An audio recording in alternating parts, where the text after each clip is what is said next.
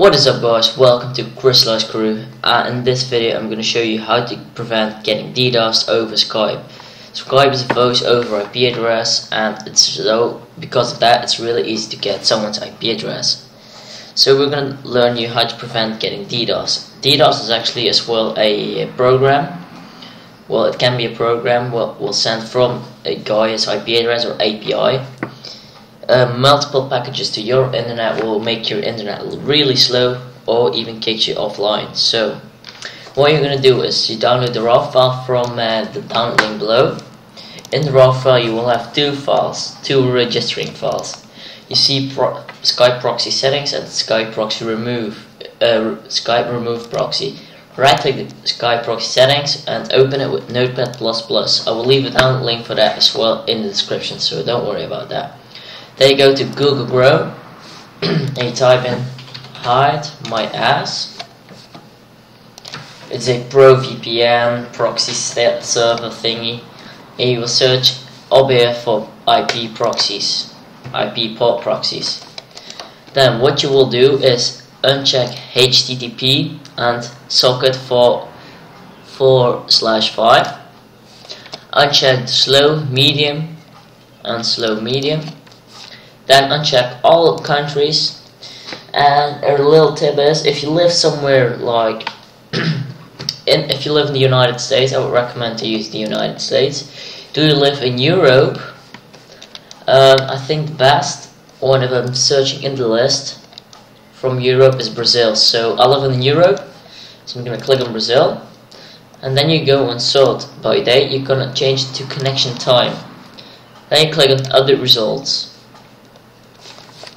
once it loaded, you will see some IP addresses and proxies. I'm gonna take the best one out, and this is the best one. Usually, but you can see no. Um, this is the best one, so I'm gonna take the second one. I'm gonna copy over the IP address. Going to uh, Notepad++ where it says IP address paste the IP address. I go to port, copy the port, paste the port, click on save you exit this out go back to your uh, Skype proxy then double click it. You click on yes yeah yes okay and you launch up your Skype. This can take a little longer than usual but don't but don't worry about it that will come alright. So it's already signed me in if I'm looking here. Now it's still loading as you can see beneath here. This can take a little longer because you're using another IP address over the world so a possibility is that it will take a little longer. So I'm already logged in.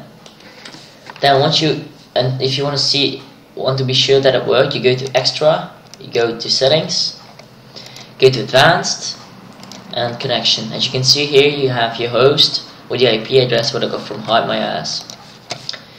So that's successfully done. It worked for you as you can see.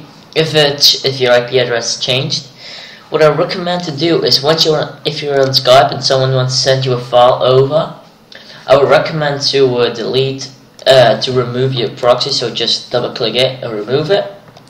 And once you've sent over the file or the download, you just put it back in. That's it, guys. I hope I hope it will work for you in getting prevent from DDoS attacks over Skype.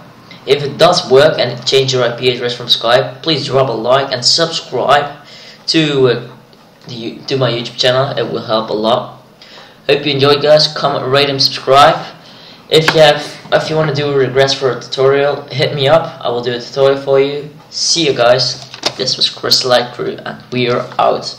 Bye.